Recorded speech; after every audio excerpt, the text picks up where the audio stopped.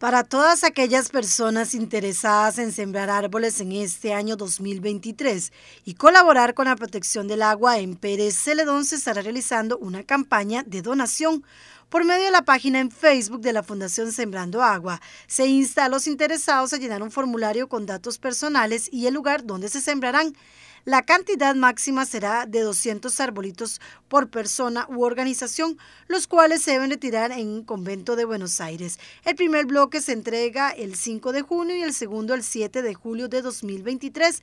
Se estará informando previamente. Aclaran que no se pueden escoger variedades con antelación, ya que en el vivero les darán los arbolitos según existencias.